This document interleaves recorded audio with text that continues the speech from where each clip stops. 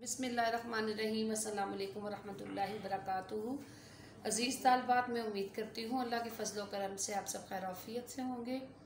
बेटा, आज का लेक्चर जो है उसका आगाज़ करते हैं। तो आप पढ़ लें प्लीज़। रब्बी शहली सदरी व यसरली अमरी वखलुकदतमिलसानी यफ़ा कौली। रब्बी ज़िदने जी बेटा, आज का हमारा टॉपिक है तालीम नस्वा गुज्त लेक्चर में हमने अपने टॉपिक नंबर चैप्टर नंबर चार का आगाज़ किया था। इस चैप्टर में हमने नाख्वानदगी और उसकी जो है पाकिस्तान में नाख्वानदगी की वजूहत को देखा और आज हम देखेंगे कि तालीम नस्वा यानी ख़वान की तालीम व तरबियत माशरे के लिए कितनी ज़रूरी है। दुनिया के बेटा तमाम कदीम और जदीद माशरों की तरक्की में औरतें भी मर्दों के साथ बराबर में शरीक रहती थी। इनके बगैर माशरे का वजूद मुमकिन नहीं है। यूँ भी आबादी का तकरीबन नसफ अमूमन ख़वान पर मुश्तमिल होता है। अगर मतवाजन शिरकत जो है ख़वान की, किसी भी माशरे की तरक्की के अमल में ना रहे तो तरक्की की रफ्तार जो है वो सुस्त हो जाती है। और ये रफ्तार सिर्फ़ तालीम के ज़रिए ही मुमकिन है। अगर हम तालीम जो है ख़वान को भी देंगे तो हमारा माशरा जो है वो अच्छे अंदाज में तरक्की भी कर सकेगा और इल्म हासिल करना जितना एक मर्द पे ज़रूरी है, उतना औरत के लिए भी ज़रूरी है। अगर हम देखें तो हमारे मज़हब में बग़ैर किसी तफरीक के, किसी फ़र्क को जाने बगैर औरतों मर्दों के लिए यकसा तौर पर जो है तालीम हासिल करना जो है वो फ़र्ज़ करार दिया है। कहा जाता है कि माँ के कदमों नीचे, उसके माँ के कदमों के तले जन्नत होती है और ये इसी वजह से है कि औलाद की तालीम और तरबियत में माँ का किरदार बाप की नस्बत बहुत अहम है। क्योंकि माँ आने वाली नस्लों की तरबियत करती है और हमारी नस्लों को अच्छी तरबियत उसी वक्त दी जा सकती है जब वहाँ की माएँ जो है वो पढ़ी लिखी होंगी।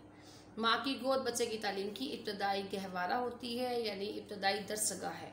हर बच्चा बेटा अपनी माँ की गोद से ही अपने अतिर के माहौल और दुनिया के बारे में जानने का आगाज़ करता है।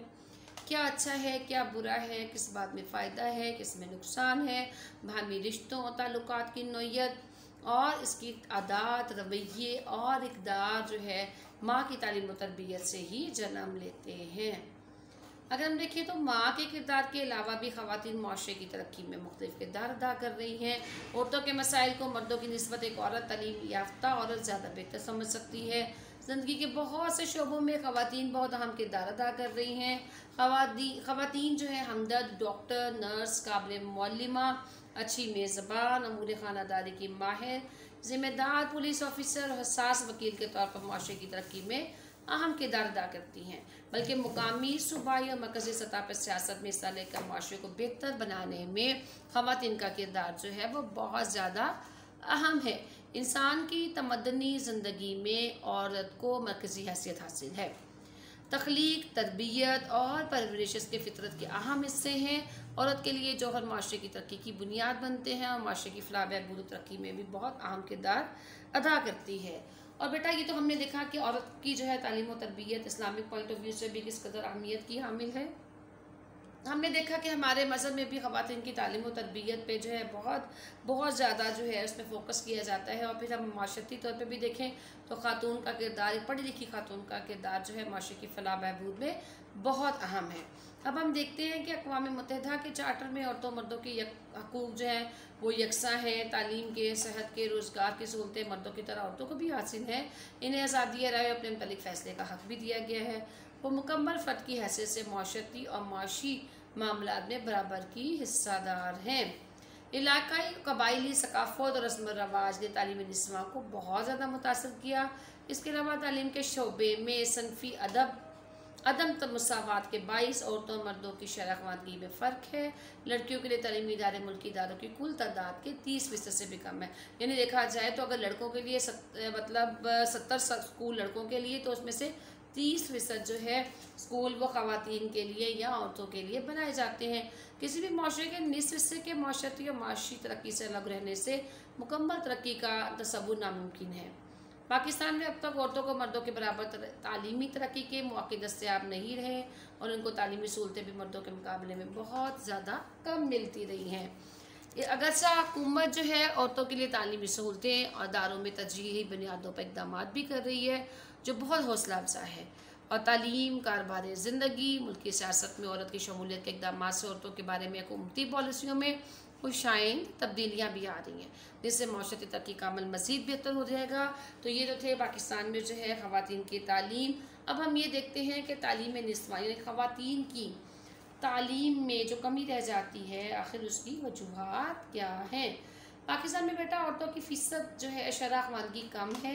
अगरचा हुकूमत औरतों की तालीम की तरफ़ तोज्जो तो दे रही है, लेकिन फिर भी पिछले 69 सालों में औरतों की शरा खानगी में तसली बख्श इजाफा नहीं हुआ, इसकी वजूहत दर्ज झेल हैं।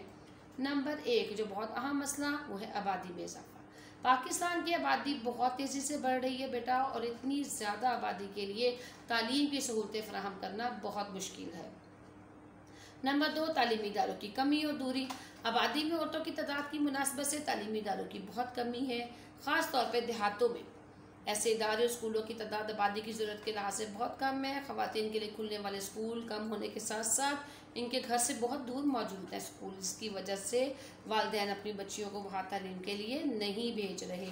मखलू तालीम, जी मखलू तालीम क्या होती है? अली तलीमी इदारों में मखलूत तालीम भी माशरती नुक़ नज़र से ज़्यादातर वालदेन की इकदार और रवायात से मुताबकत नहीं रखती, इसलिए वह बच्चियों को अली तलीम दिलवाने से गुरेज करते हैं। मखलूत तालीम से मुराद है को एजुकेशन की तालीम, जहाँ पे लड़के और लड़कियाँ इकट्ठे तालीम हासिल करते हैं। तो ज़ाहिर है हमारे मजहबी पॉइंट ऑफ़ व्यू से भी इस चीज़ को हमारे मज़हब में स्नफ किया जाता है। इसकी वजह से बहुत से लोग जो हैं अपनी बच्चियों को मज़ीद अली तालीम नहीं दिलवाते। गैर मौजू निसाब माहरीन तालीम व वालदेन के मुताबिक तलबा तलबात के लिए यकसा निसाब औरतों की तालीम के लिए मौजू नहीं। इनके ख्याल में औरतों के लिए इनकी मुस्तबिल की ज़रूरियात और जिम्मेदारियों के मुताबिक निसाब तालीम जो है वो मुरतब होना चाहिए। इसलिए बाज़ वालदेन अपनी बच्चियों को तालीम देना जो है वो पसंद नहीं करते। पाँचवा है कदामत पसंदी।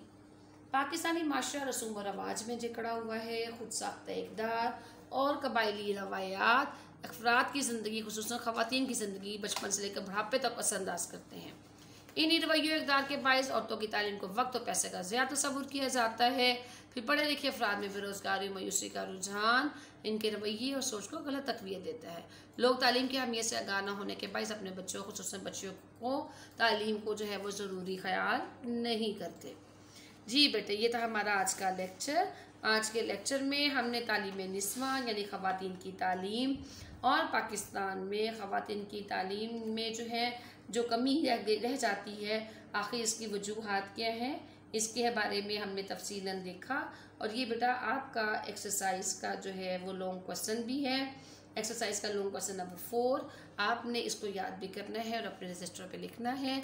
इंशाल्लाह अगले लेक्चर में फिर मिलते हैं। अस्सलाम वालेकुम रहमतुल्लाहि व बरकातहू।